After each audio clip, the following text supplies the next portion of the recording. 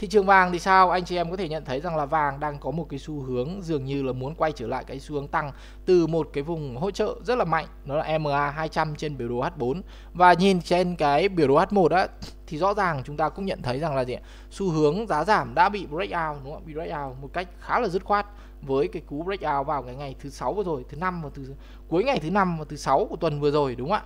Giá hiện tại á, thì đã breakout qua cái đường trung bình di động 200 và đang quay trở lại retest cái vùng này. Cũng như là à, đường MA 50 á, thì đang có cái dấu hiệu là cross qua cái đường trung bình di động 200 dự báo cho một cái kịch bản có thể vàng sẽ còn tiếp tục đi lên cao hơn nữa. Tuy nhiên thị trường vàng á, thì ờ, cũng giống như các cái cặp tiền tệ chính nó đang chịu một cái sự chi phối giữa các cái động lực cơ bản cũng như các cái động lực thiên thị trường. Động lực cơ bản á, đó là các cái dữ liệu kinh tế của Hoa Kỳ thì ủng hộ cho một cái kịch bản vàng có thể sẽ còn tiếp tục ở rớt xuống nhiều hơn nữa rớt xuống nhiều hơn nữa. Tuy nhiên yếu tố liên thị trường của thị trường vàng hiện tại á, thì lại support cho một cái kịch bản vàng có thể sẽ còn tiếp tục đi lên. Cụ thể lên thị trường ở đây là gì thì chúng ta biết rằng đó chính là yếu tố thuộc về lợi tức trái phiếu. Mọi người có thể nhận thấy vào cái ngày thứ sáu vừa rồi á, thì lợi tức trái phiếu kỳ hạn 10 năm cũng như là 2 năm của Hoa Kỳ, chúng ta thấy đây lại tiếp tục rớt xuống khá là mạnh. Tại vì chúng ta biết rằng cái này thì ờ, nó phù hợp thôi. Tại vì sao?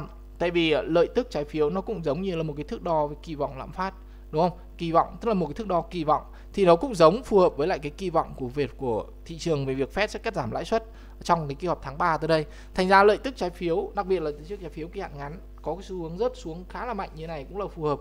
Và lợi tức trái phiếu rớt như thế này á, thì nó ủng hộ cho cái kịch bản đó là vàng có thể sẽ còn tiếp tục đi lên. Nhưng tuy nhiên chúng ta nhận thấy rằng nó là gì? các cái thông số cơ bản của kinh tế Hoa Kỳ thì lại không có ủng hộ cho cái kịch bản đó. Nhưng mà kỹ thuật thì sao chúng ta nhận thấy kỹ thuật thì cũng ủng hộ cho kịch bản vàng có thể sẽ còn đi lên. Đó là một cái mẫu hình gọi là W formation đã được confirm, hình thành tại đúng cái vùng support rất là cứng, đúng không ạ? Và giá đã break out đường trendline thành ra mà nói thì trong ngắn hạn có thể vàng sẽ có cái động lực đi lên, nhưng liệu rằng có phá vỡ được cái vùng đỉnh 2080 2090 hay không á, thì theo đánh giá cá nhân mình vẫn còn là một cái dấu hỏi rất là lớn và chúng ta cần thêm cái thời gian để đánh giá. Nhưng trước mắt, mọi người có thể tìm kiếm cái cơ hội scaling trên cái time frame H1 tức là tìm kiếm cơ hội mua lên từ cái vùng ở hợp lưu của cái đường trung bình rộng 200 cũng như đường trung bình rộng ờ, 50 ở đây nha. Tức là loanh quanh đó khoảng 2040 đô la một ounce có thể sẽ là cái vùng giá tốt để cho anh chị em có thể tìm kiếm các cái cơ hội mua lên.